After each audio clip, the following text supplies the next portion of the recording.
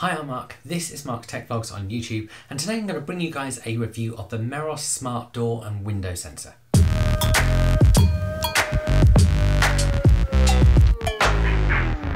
Now this is essentially a smart contact sensor and what you're going to see throughout this video is the kit that includes the hub as well, but you can buy the contact sensor separately. And firstly, whilst this is marketed as a door and window sensor, you can basically use it on anything where you want to detect contact broken. That means the way you're going to see it used throughout this video is on my record player. That means when the lift lid's up, contact is broken and I can do something to respond to that event. And this product is actually a really affordable smart home product. If you need it with the hub, it costs around £24, but if you just want it on its own, it costs £16. Now you will only need a Meross hub if you don't already have one, and each Meross hub can work with up to 16 devices. So if you already got a Meross hub, you can just buy one of these and not need the hub, but if you're coming up to your 17th product, it's time to get another hub.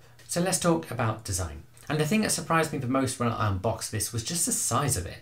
It is a lot smaller than I was expecting, and each part has this kind of pebble shaped design, but I really like. On one side there's a kind of flat bottom where you can attach a sticky strip and this is how you mount it to something. The larger part of the contact sensor is also where the battery is found and also a small pinhole in order for you to hit the reset button that's inside. Meross include a SIM release tool that you can use to do this, but something like a paperclip also does the same job. All in all, it's a nice design and it's really compact. So let's talk about specification. So firstly, Meross say it has battery life up to 18 months and you can monitor the current battery level in the app. When that battery does run out, it takes a CR2450 battery which you can replace yourself. And then the hub connects to your home Wi-Fi using a 2.4 GHz network and plugs in. And then the sensor connects to the hub which gives you HomeKit access and out-of-home control. This sensor can operate between 0 and 40 degrees Celsius and is not designed to be used outside or in wet places. And then in terms of other services it works with, it works with Apple HomeKit, it works with Amazon Alexa and it works with SmartThings. I've only been using it with HomeKit and the Meross app. So let's talk about setup.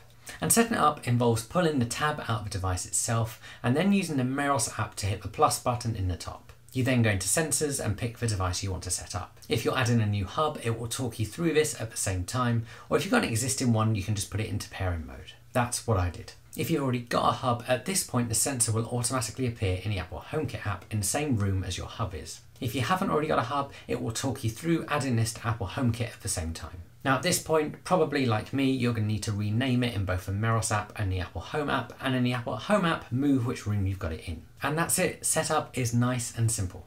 So let's talk about using it. So in the Meross app, you can click into the device and see its history. You can also configure a few basic alerts in the Meross app as well. So you can get an alert when it goes from closed to open, or when it goes from open to closed. You can also get an alert when it's been open for longer than a minute or closed for longer than a minute. And then of course you get battery notifications as well. You can also set up automations based on the above in the Meross app, but what it does will generally rely on which other Meross products you've got. So for me, you can see that I could use it to control a power strip in the Meross app if I wanted to. If, however, you do want to use it alongside other home devices, this is where you can be better off using it in something like the Apple Home app or your third party of choice. And in the Home app, it appears as a contact sensor, which means in the room that it is in, it appears along that top bar. Here you can click it and see the status and also toggle activity notifications. Where this comes to life, however, in my opinion, is when you can tie it into automations. And I'm going to talk about a few ways you could use this, but I'm going to talk about how I use it first. So as I said, I have attached it to my record player.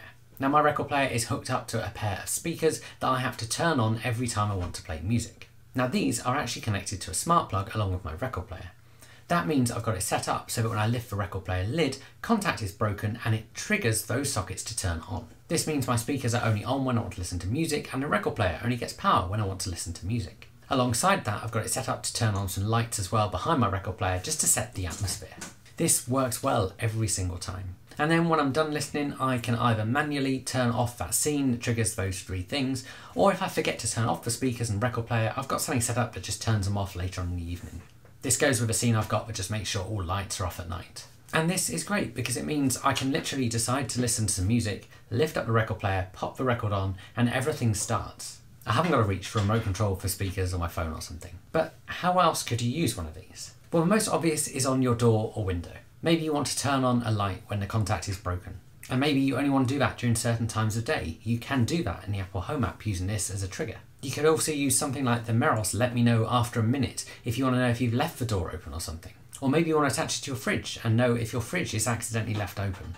Likewise, you could use a group of these as part of a security system to know if contact is broken on one of your windows or doors when you're out. The one thing really lacking is to know if it's open for a longer period of time, because you can't set this in the Apple Home app and Meross is limited to one minute. And I guess really the ideal if you've got them on windows and doors is to know if you leave home if one of these is still open. Now you could actually achieve this with a Siri shortcut. So if you're a bit more of an advanced user and you go into Siri shortcuts, you can create a shortcut based on the status of a home app.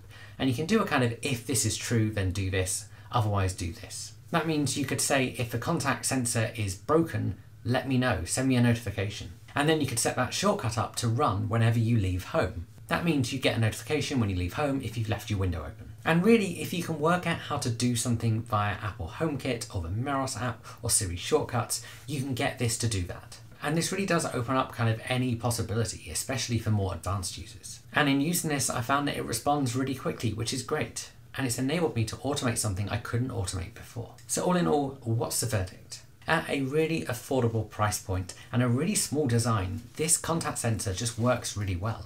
And you could use it to automate a whole variety of things around your house, whether that's based on a door opening or your record player opening. On the Meross website, they even show it attached to a cat litter box, which is slightly odd, but if you want to know when your cat's pooping, you can get a notification. The only real negative is that you can't customize that length of time. What would be nice is if in the Meross app you could say if after 10 minutes it is left open, let me know. Unfortunately at the moment you can't do that. Other than that though, this is a great product. If you guys have got any questions, stick them below and I will answer those for you. If you do want to pick one up, I've put links below to this product on Amazon and also on the Meross website. These links will take you to the appropriate country for where you're shopping from. I've also got a discount code for the Meross website where you can save 10%. Both of those links are affiliate links, so if you shop using that link, that just helps this channel out because this isn't something I do as a full-time job and I don't get paid to make these reviews. This is something I do just to share my reviews on the tech that I use. If you guys want to see more of my reviews, hit subscribe and I'll see you guys again soon.